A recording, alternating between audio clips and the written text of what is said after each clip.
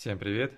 Сегодня для вас будет очень полезный ролик, так как вы узнаете, как очистить от мусорных файлов ваш телефон без всяких программ. Вам не нужно будет скачивать какие-то программы из Play Market, либо из сторонних приложений. Вам понадобится только ваш телефон и просто повторить то, что я буду делать. И не бойтесь, вы не потеряете абсолютно никаких данных, все ваши фотографии, все ваши текстовые файлы, видеофайлы, аудиофайлы, все они останутся на вашем телефоне не тронуты и все приложения, которые установлены, они тоже будут работать. Я просто вам покажу, как удалить временные файлы, чтобы очистить много места на телефоне, потому что все установленные программы, которые у вас находятся, они создают себе определенные папки, где хранятся и подкачиваются с интернета ненужные данные, которые со временем будут занимать очень много места. Итак, смотрите, нам обязательно нужно на вашем телефоне найти стандартный проводник, либо он может называться диспетчер файлов. Обычно он выглядит как вот такая желтая папочка, где вы можете зайти, посмотреть вашу память, сколько у вас свободной памяти, сколько оперативной памяти и тому подобное.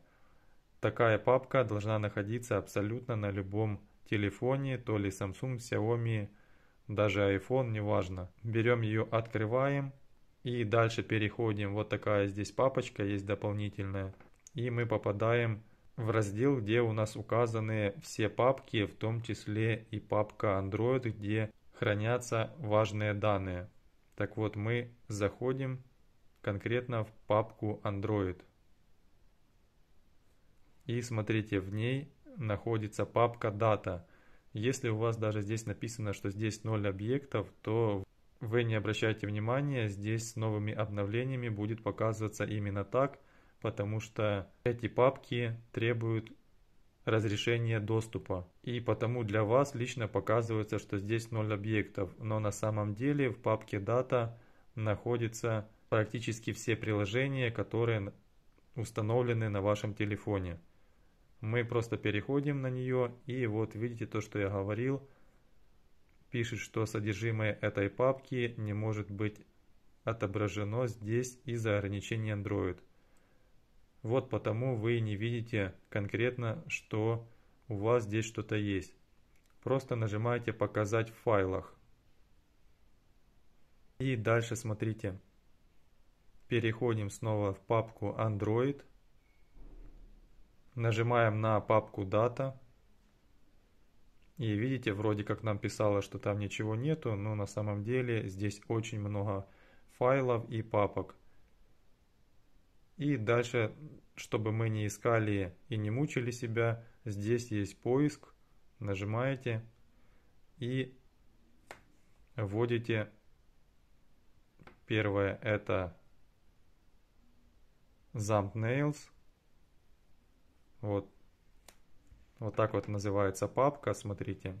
Точка thumbnails. То есть вам просто можно ввести, как я, несколько букв буквально, и вам найдет эту папку. Просто нажимаете, переходите. Вот эта папка, она хранит миниатюры картинок на телефоне, которые вы открывали. То есть, допустим, вы сфотографировали что-то, открыли, посмотрели и создалась точно такая картинка, только намного меньшего размера и сохранилась в эту папку. Так же само вы открываете какую-то в браузере картинку и там точно так же это все сохраняется в эти же папки. Со временем их может быть очень много, и они тормозят всю систему и занимают место. Вам просто-навсего нужно это все выделить и удалить. Если вы даже полностью удалите папку Subnails, то ничего страшного, она сама себя восстановит и будет дальше сохранять такие файлы. Нажимаем на корзинку, чтобы удалить. видите, удалено два файла. Касательно сколько мы сейчас почистили, у каждого будет абсолютно по-разному. Давайте я дальше покажу. Немножко возвращаемся. И здесь набираете слово трэш.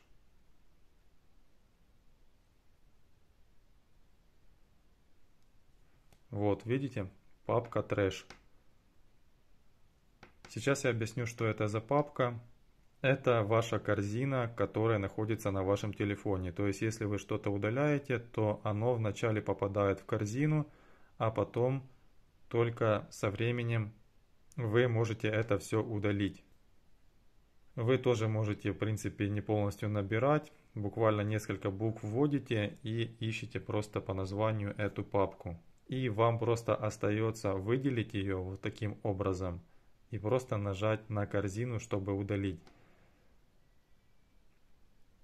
То есть системной памятью на телефоне выделяется некоторое место, допустим, 2 гигабайта, 3 гигабайта в зависимости от модели. И когда наполняются все удаленные файлы, допустим, вы удаляли какие-то фотографии, то они на самом деле сразу не удаляются, они попадают вот в вот эту папку.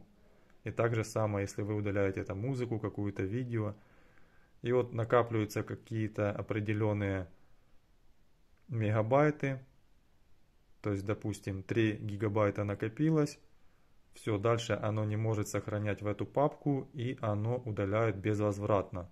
И у вас постоянно на телефоне очень много занятого места из-за вот этой папки. Просто берете ее сразу же удаляете. И можете даже не сомневаться. Я уже это чистил уже 300 раз, и у меня телефон работает просто отлично. И при этом память всегда есть. Все, мы удалили вот эту папку и освободили много места.